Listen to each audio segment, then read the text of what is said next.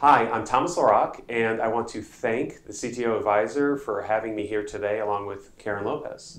Hi, I'm Karen Lopez. I'm a data evangelist at Info Advisors. I go by Data Chick on Twitter. And um, I also want to thank Keith for having us on. Yeah, and I am a head geek at SolarWinds, and uh, we're both here at VMworld. Yeah. And uh, so it was two days ago, they made this announcement about uh, RDS becoming available for your on, you know in-house on-premises in your own data center, right? Mhm, yeah. So they were bringing the idea of a managed service and putting it in your own data center. So uh, we wanted to, we, we have a few thoughts about this. Yeah. Uh, so for me, uh, I see it as an indication of. So first of all, what, what's really happening is it's a partnership between VMware and AWS, where you can, and RDS being uh, the, their plat, their database as a service platform, being made available inside your own data center today, which allows for easier migration, say if you want to get to the cloud. But what it really does is it takes away the administration overhead that every company faces when it comes to managing databases. So now you get the the brilliance of a database as a service, but locally to where you are. And so this is a huge, huge announcement. Right? But I'm assuming, right, so I think it's huge. I mean, other vendors have had other sort of cloud like stuff that you can run on prem on an appliance. But I think the difference here is that even then, that's not remotely managed. It's not really database as a service as much as it is sort of a, an appliance for in the box infrastructure as a service or platform as a service, right? So that's what's interesting here. I'm assuming with this announcement as well is what they're getting not just manages services as this database as a service, but also um, you know fewer on-site resources they have to do it because of the remote administration. And I guess the big question is going to be for me is where does that where is that line drawn? Right? Do you um, you know do you add users and groups or does it come with predefined and you can add more and like that's where you know it's always in the details of where the managed services line cuts off. So, and, and there's, I, I also see the, say, the, f- the future. I can see the future. But it's, it, it's the first shoe dropping of something that's much bigger. Yeah. The idea that I can spin up uh, a VM and have RDS deployed and have AWS managing all of that stuff for me, all the administration for it, my recovery, everything I need, including the security aspects, which I think Yeah. we're going to talk about. But Yeah. if they can do that for RDS, they can do it for Anything. anything. It's the orchestration of the cloud coming to Earth. Mm-hmm. And that is huge. That's the big thing. It's not about me, what database do I want to use? It's the fact that the, the beauty of the cloud orchestration that we've been seeing. The reason people go to the cloud is for those type, that type of Yeah. orchestration coming back to Earth. That is the huge, huge part. Right, and then then it becomes now I see whatever this hardware that it's running on in your data center is really like it's physical hardware, but it's nearly virtualized as well because it's been architected probably I'm assuming for all the other cloud reasons for elasticity, burstability, um, the ability you know it's probably services driven, not just integration driven.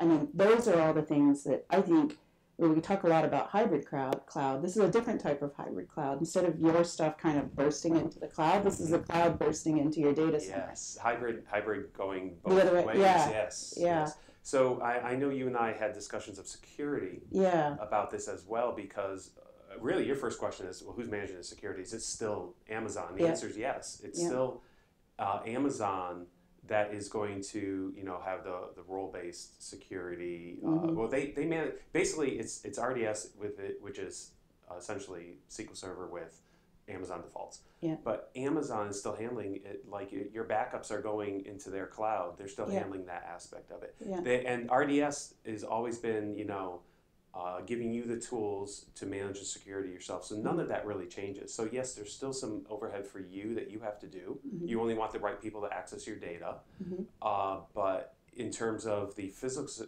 physical security of that, that's Amazon for the Mhm. stuff that goes into the cloud. right, right. So one of the interesting things, so drawing an analogy, is that in the utility business, there's an important thing between you and the utility, like electrical or anything. It's called a demarcation point. Mhm. And the demarcation point is the utility's responsible for all the hardware and any software and any uh, energy that comes up here. And then once it hits, say, your home, your premises, Right. Yeah.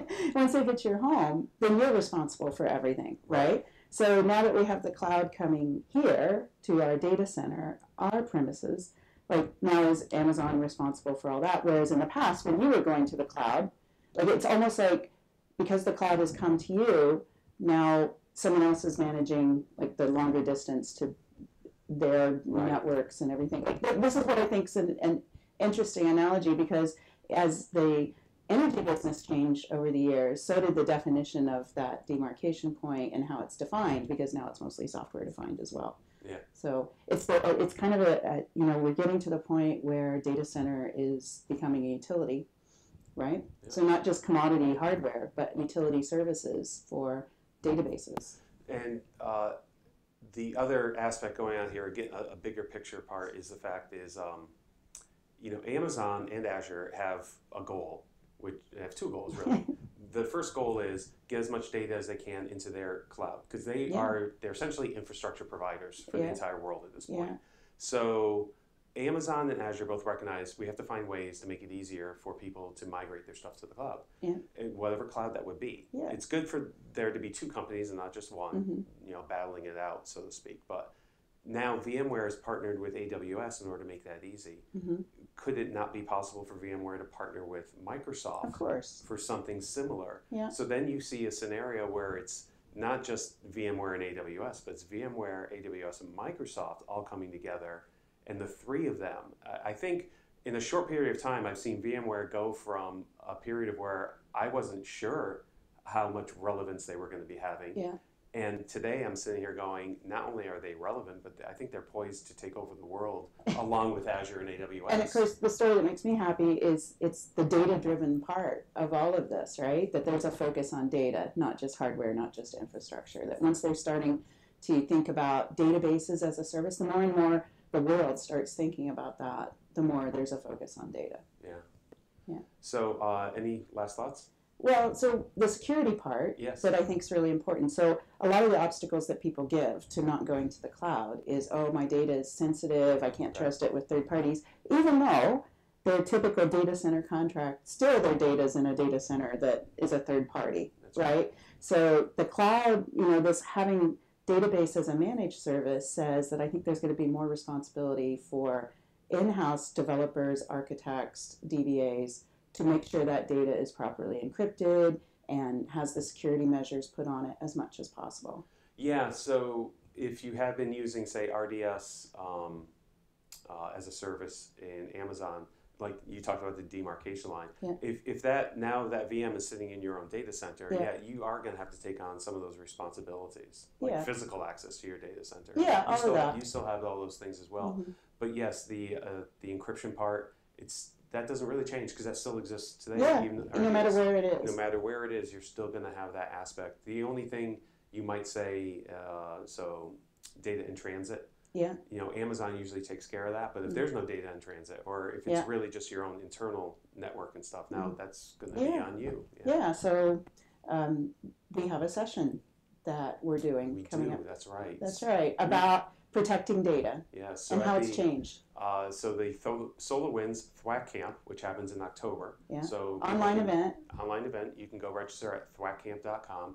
Mm-hmm. And we're going to be talking about the Seven Samurai for SQL Server data protection. Yeah, uh, which will have uh, some hints about uh, things to do for data at rest, data in use, data in motion. right. And the modern changes to databases that allow you to protect data even better. Yeah. Okay. Uh, Mm-hmm. Yeah. Any other last thoughts?